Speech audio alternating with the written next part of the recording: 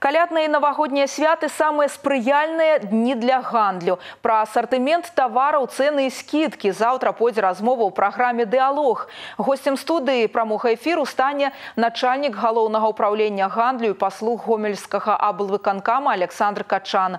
Глядзіце праграму ў прамым эфіры на телеканале «Беларусь-4» ў 19 гадзін 20 хвілін. Нумар тэлефона ў студыі 34 2043. Свае пытанні таксама можна адправіць на Viber 340 043 3.